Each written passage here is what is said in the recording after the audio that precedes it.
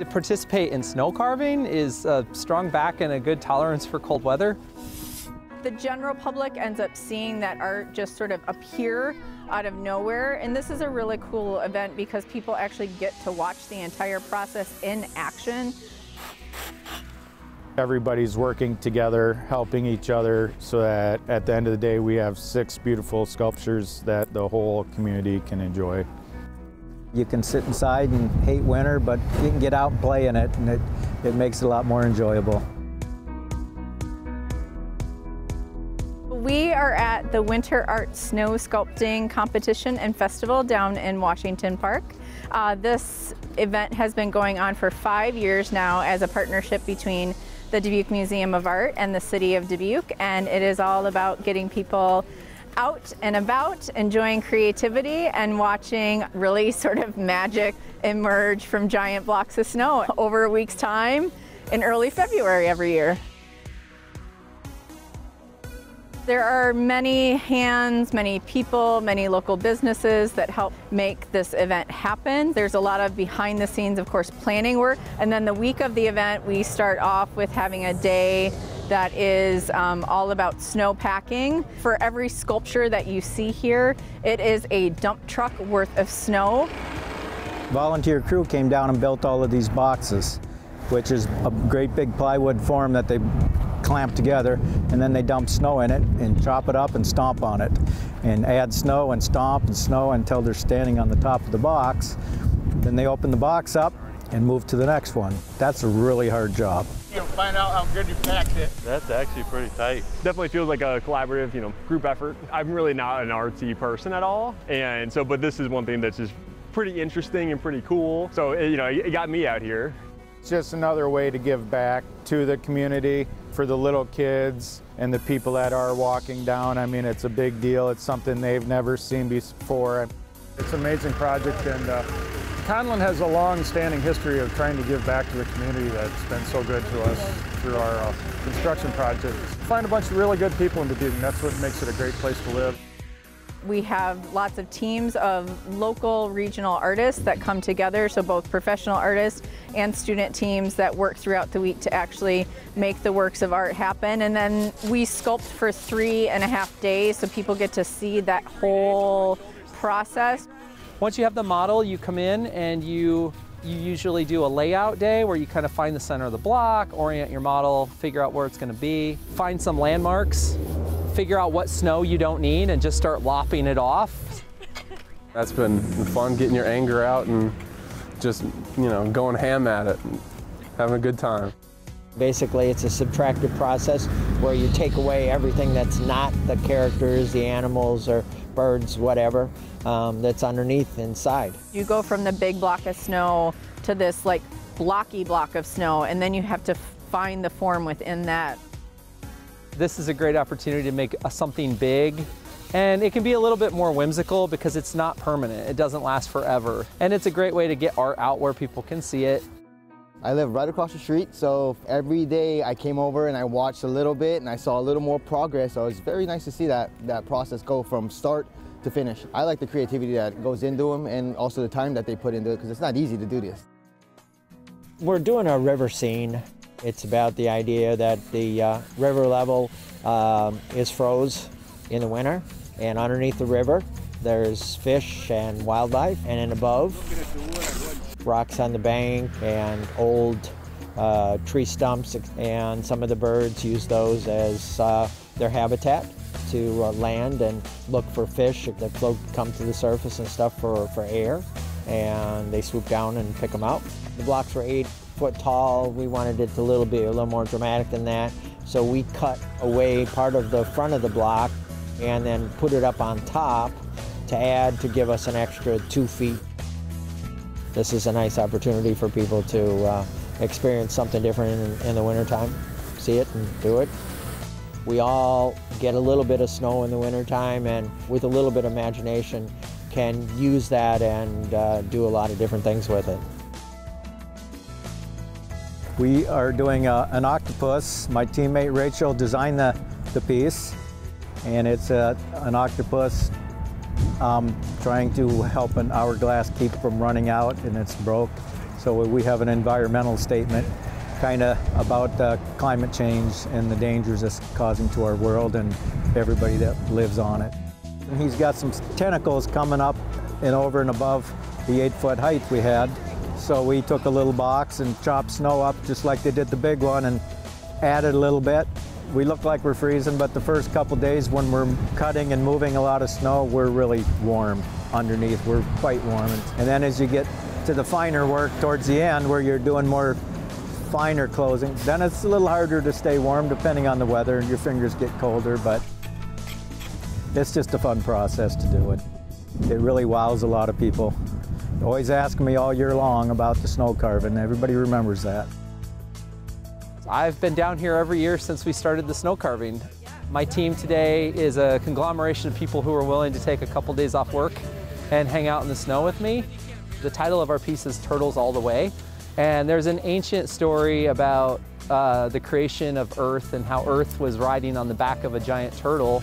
And then there, that giant turtle was on another giant turtle and it was turtles all the way down. Like well, where, where is that turtle standing? Well, he's standing on another turtle. Well, where is that turtle standing? And it's the, the paradox of infinite regression. There's always another why. There's always another place to go. That was the impetus for the sculpture. And then we tried to represent turtles that are from the environment of the river along the, the Dubuque region.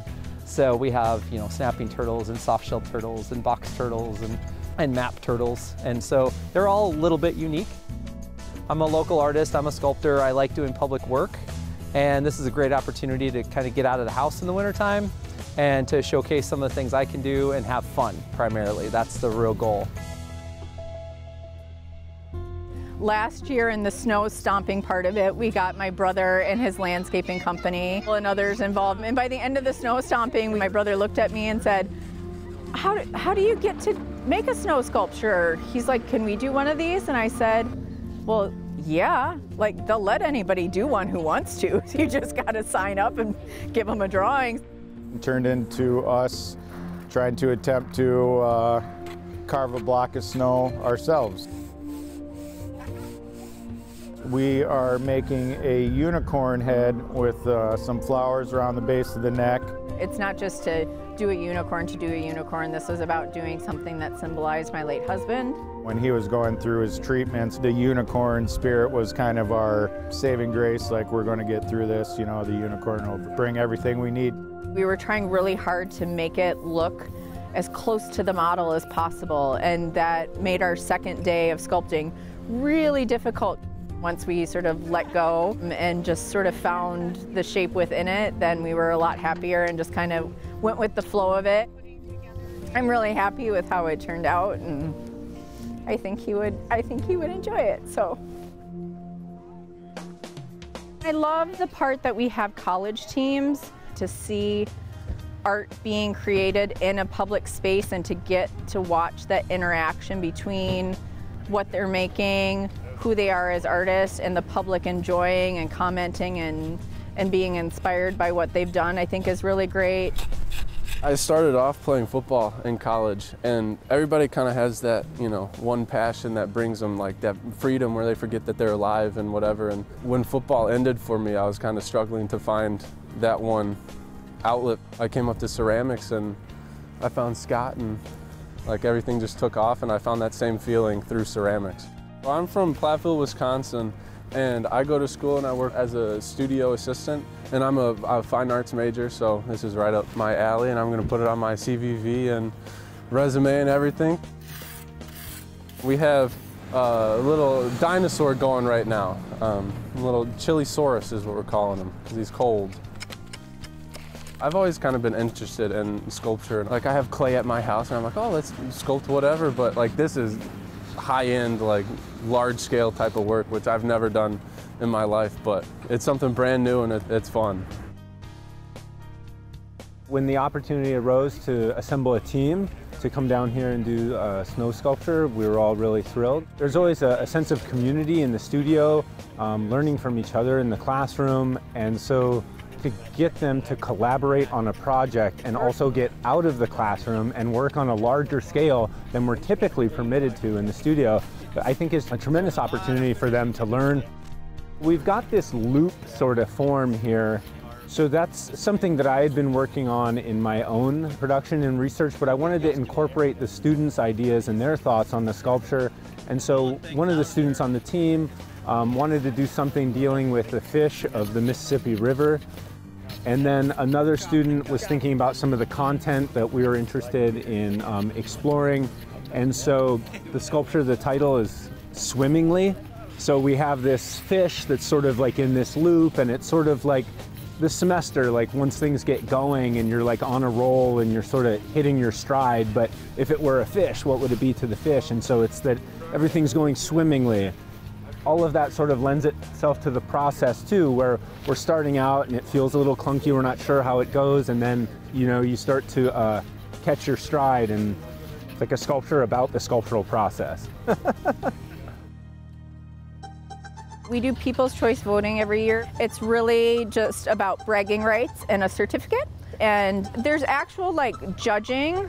We're sanctioned as the official state of Iowa snow sculpting competition. So whoever wins our event has the opportunity to go on to the national competition that happens in Lake Geneva every year. This is actually really cool. I like it. We've got a good friendly competition going, but everyone's been so helpful and sharing of information and knowledge um, and tools especially. The community of sculptors is so generous with their time and knowledge. I try to keep up that. Comes a little bit naturally, but it's also just part of the community. It's like, oh, I see you're struggling with that. Hey, try it like this. I've done this before. You know, the only way to learn how to do it is to do it. So if you find the edge of the shell. A lot of the people that are here carving uh, are just everyday people, you know, right off the street and just have a have a little bit of a an ambition to do things like that.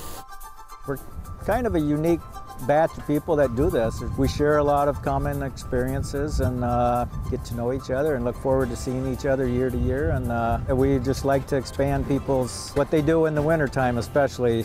Giving people the opportunity to, with the community sculpting area, to try doing it. So maybe for some kids this sparks a little bit of an idea of something else that they could do with snow at home. Um, I think it's good in any opportunity to, to have a chance to try a creative process just like the artists do. It's hard to want to be outside in the cold, but this was a fun way for us to get outside. This is a great way to get the kids actually motivated to do something other than, you know, sledding or random backyard activities too during this kind of weather. So we knew that you could try out the sculpting here, and we did it a few years ago, and the kids loved it. We love being able to get them out in the community and um, just seeing that there's other people doing some of the same stuff that they want to do. I think Dubuque as a whole actually engages the art community very well. We definitely have quite a vibrant scene. It's an endeavor for this many people to dedicate this much time as artists. The teams are not getting paid. They're not making any money from this. So they are here simply because they want to use their talents to bring something like this to the community. I'm happy that so many people are, you know, coming by because art needs an audience and so we've we've got that here. I was up on top and I was like looking around and like everybody driving by, they were waving at me, they're, you know, laughing and whatnot and everybody's watching, like everybody's driving by, every, every single person that drives by, they're looking at it. I feel like it's enlightening to a lot of people and they don't even know it until they pass it. Art in general is just important for us and I think the more that we can display that in the community, the better it's going to be. It's you know something that everyone can enjoy.